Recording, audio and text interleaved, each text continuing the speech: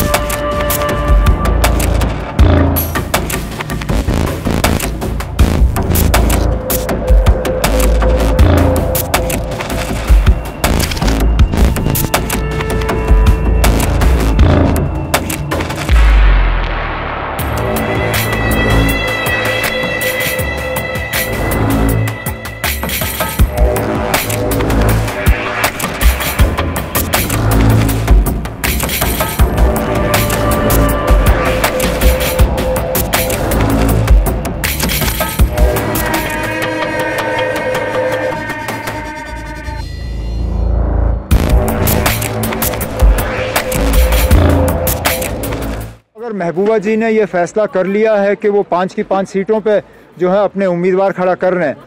तो शायद फिर वो असेंबली के लिए भी अब किसी तरह का अलायंस नहीं चाहती।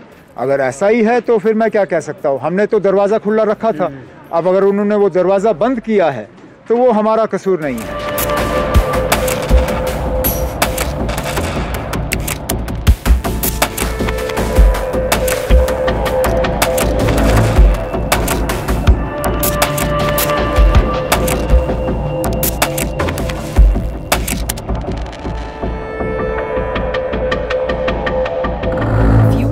Video, then like, share, and subscribe to Mirror Now.